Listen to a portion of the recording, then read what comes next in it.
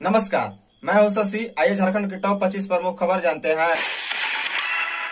द्रौपदी मुर्मू ने शिबू सोरेन और सीएम हेमंत से की मुलाकात। एनडीए की ओर से राष्ट्रपति पद की उम्मीदवार द्रौपदी मुर्मू सोमवार की शाम जेएमएम सुप्रीमो, शिबू सोरेन और केंद्रीय कार्यकारी अध्यक्ष मुख्यमंत्री हेमंत सोरेन से मुलाकात की। इस दौरान अपने पक्ष में समर्थन की अपील की।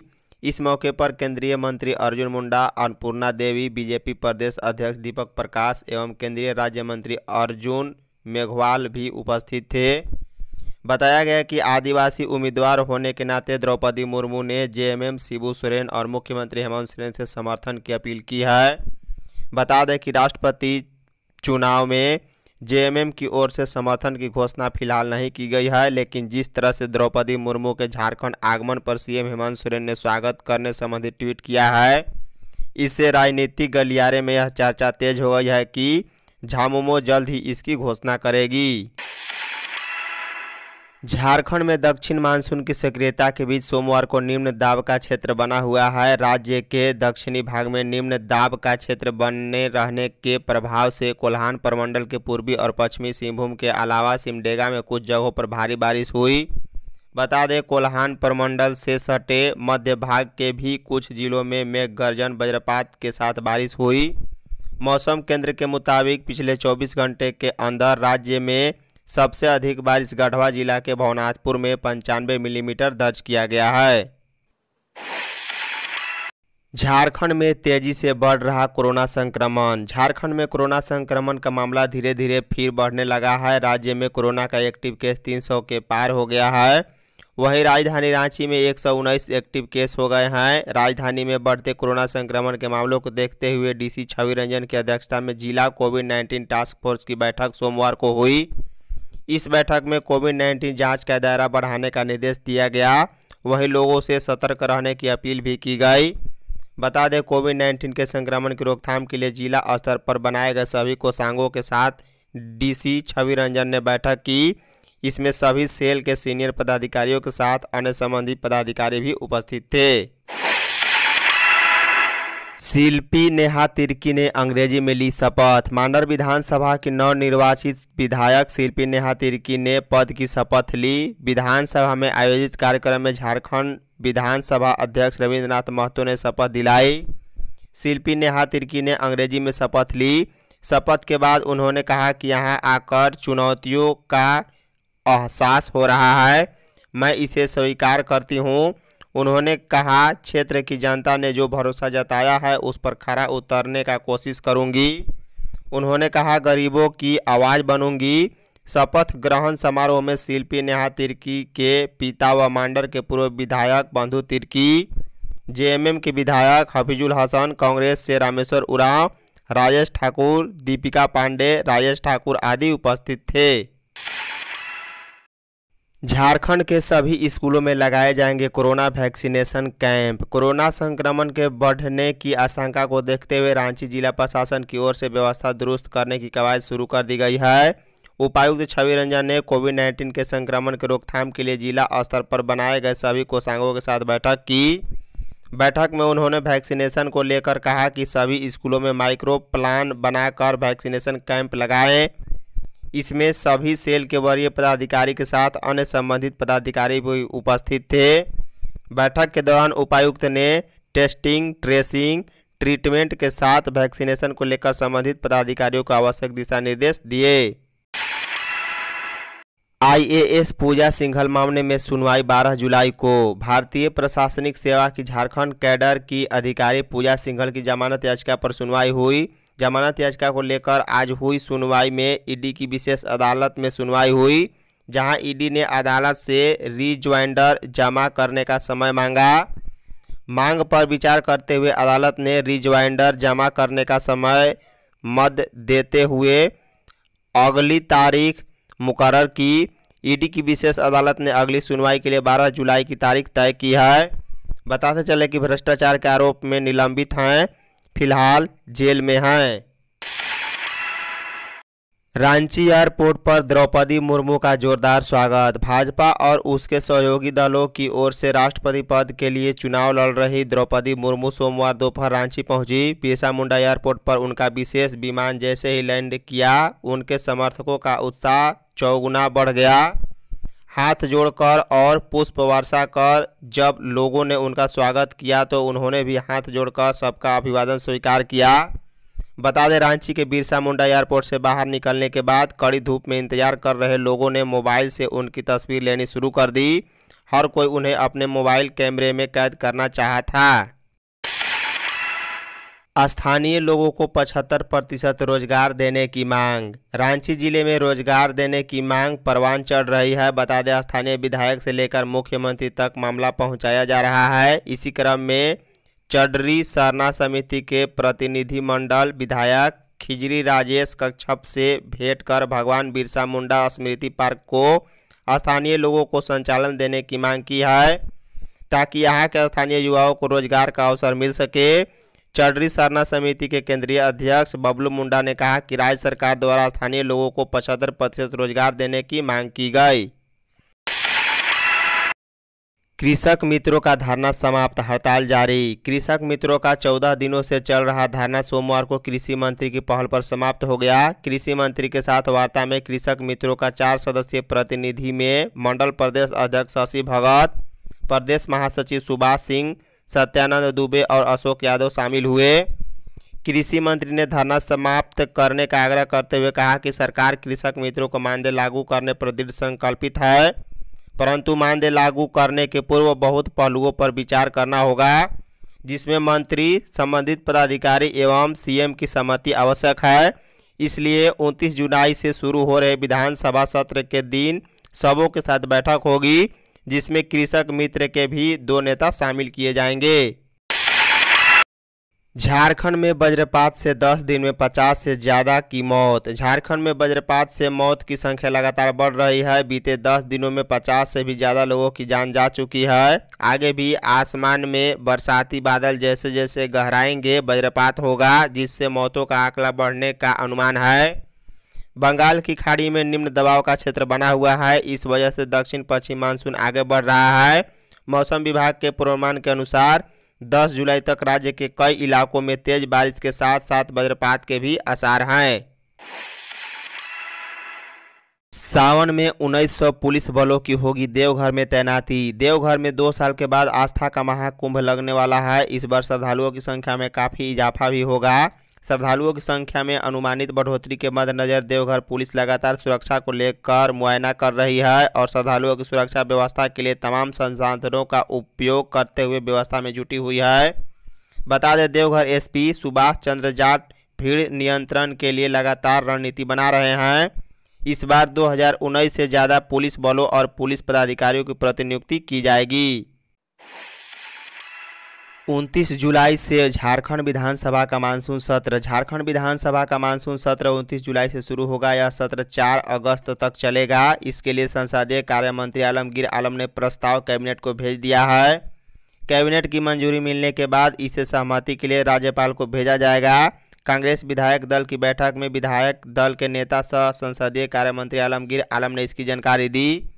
बता दें, विधायक दल की बैठक के बाद उन्होंने कहा कि मानसून सत्र में पक्ष के साथ साथ विपक्ष के विधायक सहयोग दें। इसमें प्रश्नों, ध्यान आकर्षण और शून्यकाल के माध्यम से विधायक अपने क्षेत्र हित व राज्य हित की समस्याओं को उठा सकते हैं।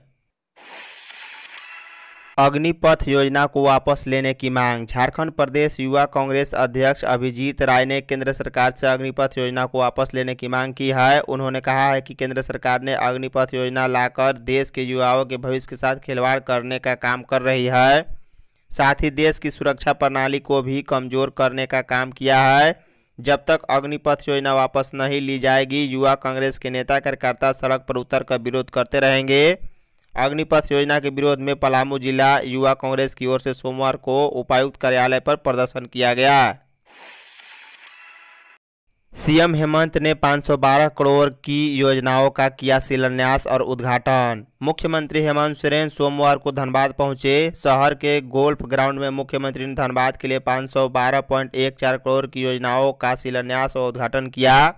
सीएम ने अठारह लाभकों के बीच परिसंपत्तियों के वितरण के साथ एक सौ चौहत्तर व्यक्तियों को नियुक्ति पत्र भी सौंपा। अपने संबोधन के दौरान मुख्यमंत्री हेमंत सोरेन ने मंच से अधिकारियों को चेतावनी भी दी।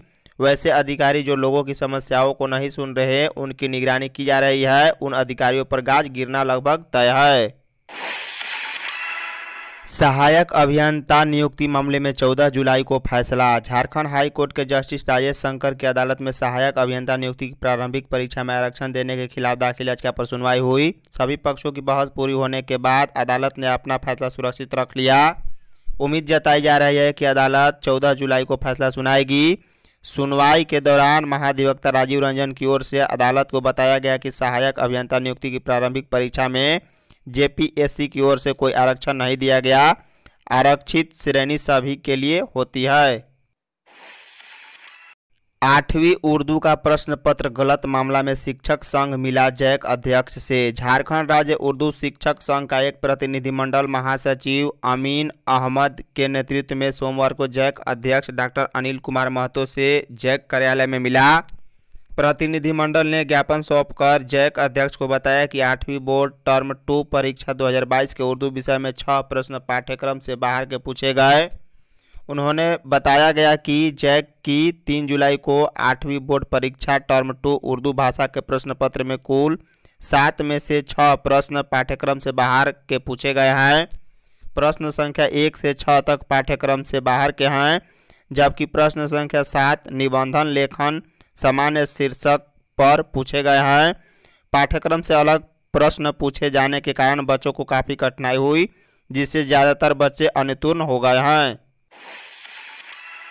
स्कूली बच्चों ने सौंपी द्रौपदी मुर्मू की पेंटिंग। राष्ट्रपति पद की उम्मीदवार द्रौपदी मुर्मू से स्कूली बच्चों ने होटल बीएनआर में मुलाकात की। एमएम के स्कूल की हेड गर्ल वरिसा की बनाई पेंटिंग से द्रौपदी मुर्मू काफ़ी प्रभावित हुई। स्कूली बच्चों से उन्होंने पूछा कि वह बड़ी होकर क्या बनना चाहती है, जिसके बाद बच्चों ने कहा कि वह उनकी आदर्श हैं, जिसके बाद द्रौपदी मुर्मू ने बच्चों को पढ़ लिख कर अच्छा इंसान बनने का आशीर्वाद दिया। झारखंड में पीएचडी करने वालों को नई व्यवस्था से होगा नुकसान। झारखंड के विश्वविद्यालयों से पीएचडी करने वाले अभ्यर्थी यहाँ के कॉलेजों में सहायक प्राध्यापक के पद पर होने वाली नियुक्ति में फिसड़ सकते हैं। इसका कारण यह है कि नियुक्ति में पीएचडी के लिए अब अंक संबंधित विश्वविद्यालय की नैक ग्रेडिंग के आधार पर मिलेंगे। झारखंड के विश्वविद्यालयों की स्थिति यह है कि नैक ग्रेडिंग में ही वे पिछड़े हुए हैं। राज्य सरकार ने सहायक प्राध्यापक नियुक्ति को लेकर नियमावली में बदलाव कर रही है, जिसमें नैक ग्रैंडिंग को आधार बनाया गया है। इसका ड्राफ्ट तैयार कर लिया गया है, जिस पर सभी विश्वविद्यालय से सुझाव मांगा गया है। कक्षा नौवीं और ग्यारहवीं की कॉपियों का जाँच परीक्षा सेंटर पर। नौवीं व ग्यारहवीं के दूसरे चरण की बोर्ड परीक्षा जिन केंद्रों पर होगी, वहीं पर कॉपियों का मूल्यांकन किया जाएगा। झारखंड एकेडमिक काउंसिल ने इस संबंध में जिलों को दिशा निर्देश जारी कर दिया है। जिलों को भेजे पत्र में कहा गया है कि परीक्षा के बाद उत्तर पुस्तिकाएँ संबंधित केंद्र पर ही सुरक्षित रखी जाए। किसी केंद्र पर उत्तर पुस्तिका रखने की समुचित व्यवस्था नहीं है तो उसे दूसरे केंद्र पर रखा जा सकता है। लेकिन उत्तर पुस्तिका का मूल्यांकन संबंधित केंद्र के शिक्षकों द्वारा ही किया जाएगा। रिम्स में दो दिन बाद शुरू होगी genome sequencing machine. Cubic fluorometer machine America से रिम्स पहुँच गई है। अब दो दिन बाद रिम्स में जीनोम सीक्वेंसिंग की जाँच शुरू हो जाएगी। सीक्वेंसिंग की जाँच से वायरस और बैक्टीरिया के नए वेरिएंट की जानकारी राज्य में ही हो जाएगी। इससे डॉक्टर समय रहते उसे बचाव का उपयोग ढूंढ पाएँगे और सरकार उसके हिसाब से निर्देश भी जारी कर पाएगी। बता दें, इससे पहले कोरोना के बढ़ते संक्रमण और स्वास्थ्य मंत्रालय के निर्देश पर स्वास्थ्य विभाग ने जीनोम सिक्वेंसिंग की जाँच भुवनेश्वर के लैब से कराने का निर्देश दिया था। झारखंड की रिया तिर्की मिस इंडिया 2022 के फाइनल में बाहर Riya Tirkey Femina Miss India 2022 के ग्रैंड फिनाले में झारखंड का प्रतिनिधित्व करने वाली पहली आदिवासी युवती बनी है। हालाँकि फाइनल में वह दौड़ से बाहर हो गई। फाइनल शो डाउन के तहत रैप वॉक रविवार की रात आठ बजे से शुरू हुआ। मुंबई का जियो कन्वेंशन सेंटर में हुए कार्यक्रम में पूरे देश से अंतिम रूप से चयनित आठ युवतियाँ शामिल हुई। JAC inter state top ten में 78 विद्यार्थियों में से मात्र 17 सरकारी स्कूल के। झारखंड में 510 सरकारी प्लस टू स्कूल हैं, लेकिन इंटर 2022 के तीनों संकाय के स्टेट टॉप टेन में शामिल कुल 78 विद्यार्थियों में से मात्र 17 ही सरकारी प्लस टू स्कूलों से हैं। बता दें, उनचास टॉपर्स इंटर कॉलेज के हैं। इन प्लस टू स्कूलों में तीन बार शिक्षकों की नियुक्ति भी हो चुकी है, लेकिन यहाँ न विद्यार्थी पढ़े और न ही इनका रिज़ल्ट कॉलेज से बेहतर संभव हो पाया। बिजली विभाग से धनबाद की जनता त्रस्त। बिजली विभाग की मनमानी से धनबाद के लोग परेशान हैं। देर से बिजली का बिल मिलने से लोगों को सब्सिडी का लाभ भी नहीं मिल पा रहा है। वहीं आम जनता के साथ साथ जनप्रतिनिधि भी इसका विरोध कर रहे हैं। व्यवस्था में सुधार करने के लिए जे से मांग की जा रही है। जे ने देर से बिल के लिए एजेंसी को शोकाज किया है। भाजपा विधायक राज सिन्हा ने सरकार पर हमला बोलते हुए कहा है कि उन्होंने जनता को लूटने का प्रयास किया है। सरकार सब्सिडी पर बंदिश लगाकर छलने का काम कर रही है। देवघर में पीएम मोदी के आगमन की तैयारी जोरों पर। देवघर एयरपोर्ट के उद्घाटन कार्यक्रम में प्रधानमंत्री नरेंद्र मोदी के आगमन को लेकर तैयारी तेज हो गई है। देवघर एयरपोर्ट में जहाँ उद्घाटन समारोह की तैयारी की जा रही है, वहीं देवघर कॉलेज मैदान में विशाल जनसभा की तैयारी के लिए पंडाल का निर्माण शुरू हो गया है। बता दें, पंडाल बनाने में प्रधानमंत्री के सभी सुरक्षा मानकों का ख्याल रखा जा रहा है। एयरपोर्ट पर उद्घाटन समारोह सभा में 300 और देवघर कॉलेज मैदान की जनसभा में दस हज़ार लोगों के बैठने की व्यवस्था की जा रही है। कॉलेज मैदान में एक लाख वर्ग फीट क्षेत्र में पंडाल बनाया जा रहा है। पंडाल निर्माण कार्य को देखने गोड्डा सांसद डॉक्टर निशिकांत दुबे सुबह सुबह देवघर कॉलेज मैदान पहुँचे और ज़रूरी निर्देश दिए। सीएम के करीबियों सेल कंपनियों के मामले की सुनवाई टली। सीएम के करीबियों के सेल कंपनी चलाने और सीएम को लीज खनन आवंटित करने के खिलाफ दायर याचिका पर मंगलवार को सुनवाई नहीं होने के आसार हैं। मंगलवार को chief justice doctor Ravi Ranjan और जस्टिस सुजीत नारायण प्रसाद की अदालत नहीं बैठेगी। यह मामला इसी अदालत में मंगलवार को सुनवाई के लिए सूचीबद्ध की गई थी। मामले की सुनवाई की तिथि अभी निर्धारित नहीं की गई है। इस याचिका पर अब अगले सप्ताह सुनवाई होने की संभावना है। धन्यवाद। यदि आप चैनल पर नए हो तो चैनल को सब्सक्राइब कर बॉल का बेल आइकन दबाइए, साथ साथ वीडियो को एक लाइक कर अपने दोस्तों के साथ शेयर करना ना भूले। साथ ही साथ आप हमें झारखंडी न्यूज़ फेसबुक पेज को लाइक करना ना भूले।